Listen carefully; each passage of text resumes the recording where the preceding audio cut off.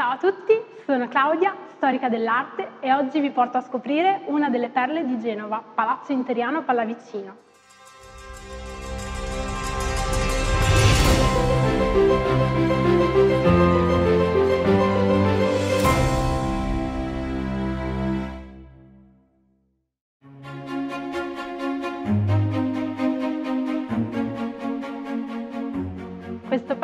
Stato costruito negli anni 60 del Cinquecento per la famiglia Interiano, una famiglia di nobili vecchi che si era arricchita grazie a contratti commerciali e mercantili con la Corona di Spagna.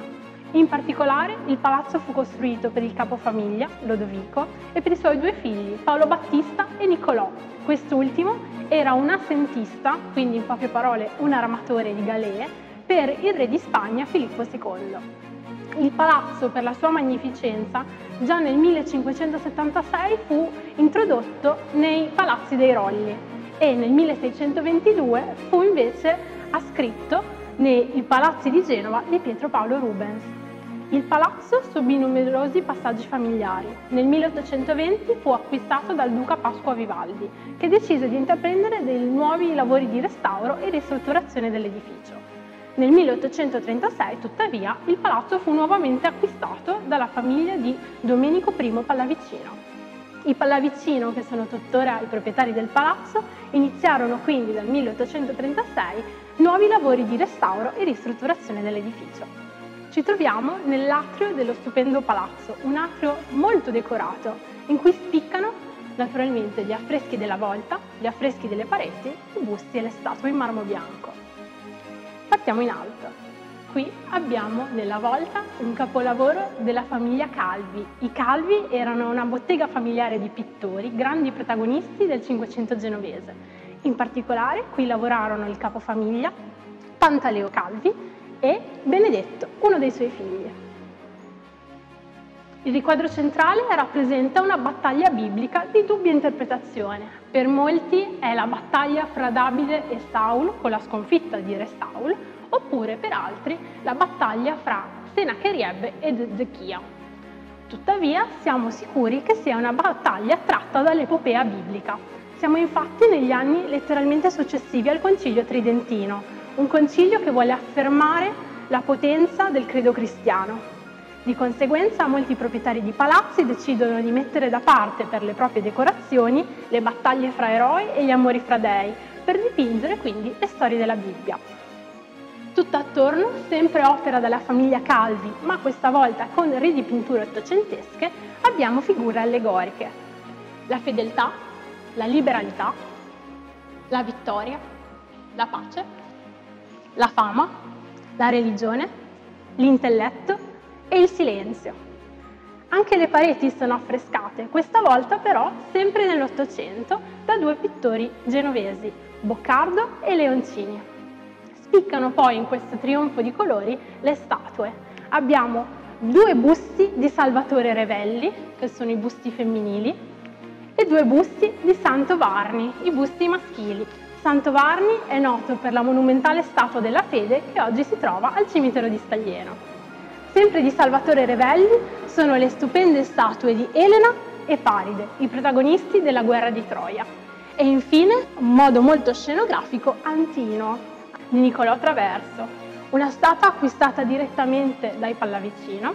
Niccolò Traverso è uno dei grandi protagonisti dell'Ottocento genovese e qua rappresenta in forma molto classica Antino, che era il favorito dell'imperatore Adriano, che purtroppo fece una fine molto infelice poiché scivolò da una barca e morì nel fiume Nilo annegando.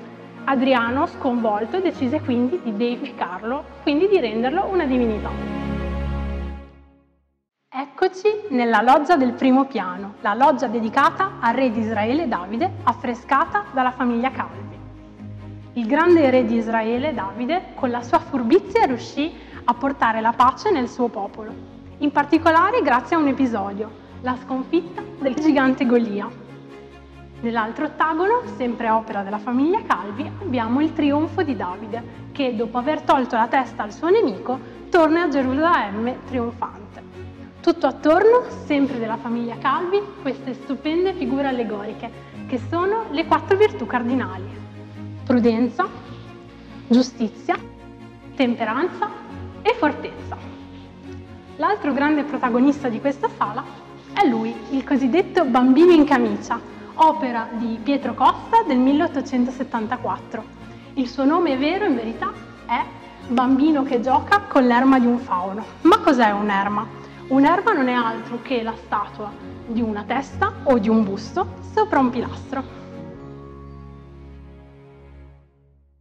Eccoci nella loggia del secondo piano, affrescata sempre dalla famiglia Calvi, sempre negli anni 60 del Cinquecento.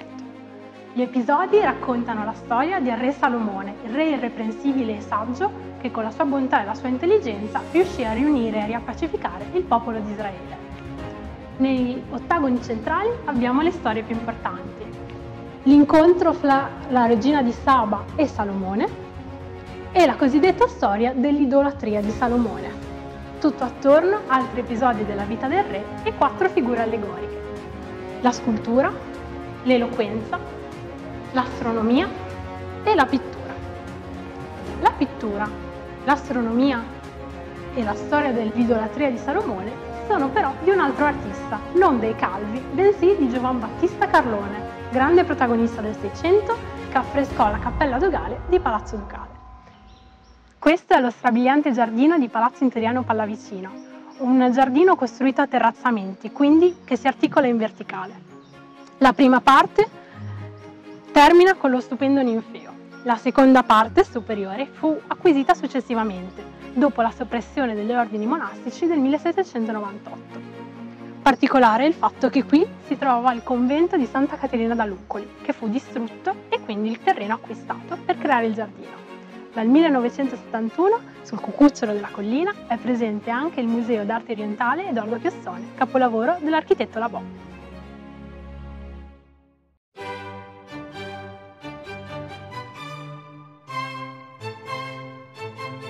troviamo nello stupendo salone da ballo del nostro palazzo, un salone riccamente decorato e con un affresco meraviglioso sulla volta.